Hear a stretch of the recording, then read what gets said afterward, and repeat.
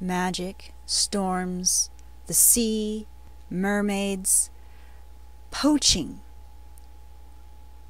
What do you expect to happen when you are given these words? The story of Pouraka is one permutation of what can come out of these words. Pouraka is a book and audiobook by author D.L. Gardner, who I am actually getting to record for for doing the Ian's Realm saga trilogy for. So, if you have read the Ian's Realm, you might enjoy Pouraka and vice versa. I'm giving it a 4 star out of possible 5 star and rating it from middle grade to young adult. Now I have sat with this one for a bit as I wanted to process it more, but I also forgot to actually sit down and write out my review of the story. And then I didn't get a chance to actually record my review of the story for posting it on the YouTube channel. I listened to the audio book while I was doing illustration work and chores, which made for good company. As I love tales of the sea and the denizens thereof, I knew that this was going to be an interesting experience. Dolphin hunting, which is already illegal, impinges on the magical abodes of the Mers. Poachers, of course, are a real world threat, and I can see how they would be a threat to the Mer people. And even more so when we discover that the Mers are related to dolphins. Going by old tales, they are also related to humans, but that still removes no stigma from any Mer to human pairs, which gets addressed later on in the story. This particular reclusive pod of Mers is then forced to abandon the magical pool which sustains them and to search for another area containing the magical waters that they need. This exodus then brings the highly reclusive pod into contact with another mostly xenophobic pod. Tas, our hero, meets with Kora as a result of this and gets introduced to shape shifting magic, something he never needed nor known even existed due to the way his pod had once lived. This story tackles some sticky elements that even in the world need addressing. Xenophobia, pollution to a minor degree, poaching, ocean health, interracial relationships.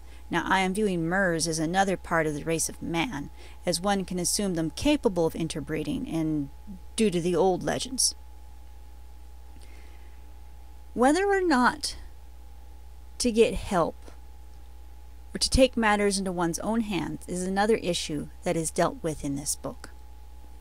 These are all things that are good to use the medium of fantasy to address, and the choice of setting being contemporary brings these matters into more immediate focus than they would perhaps be if they were set within the age of sword and sorcery. The story gets a little bumpy at times due to the pacing.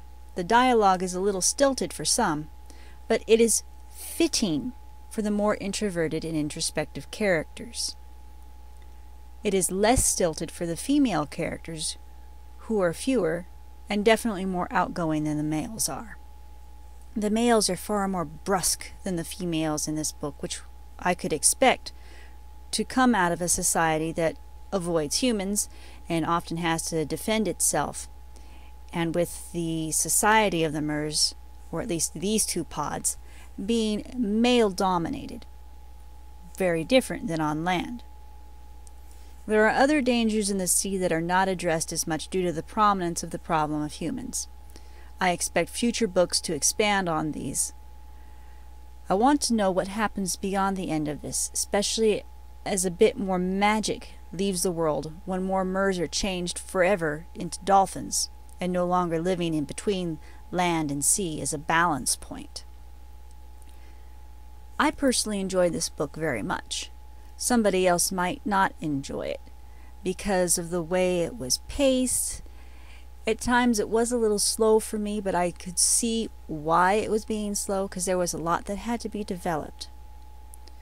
Also, there is a bit of romance, but the romance is not the main point in this. So if you're reading this for a romance, you're going to be disappointed. If you're reading this for an adventure, it might not fully fit. But if you're reading it for the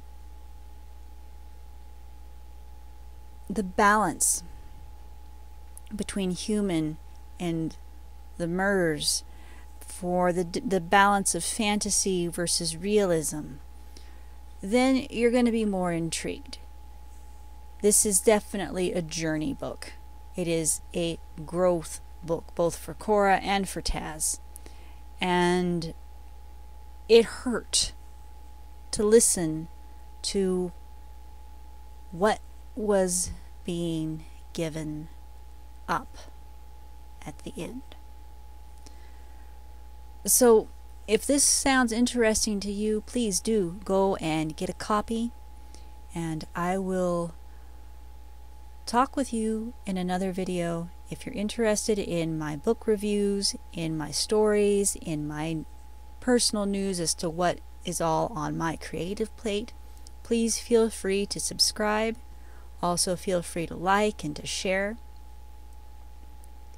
And I wish you adieu for now.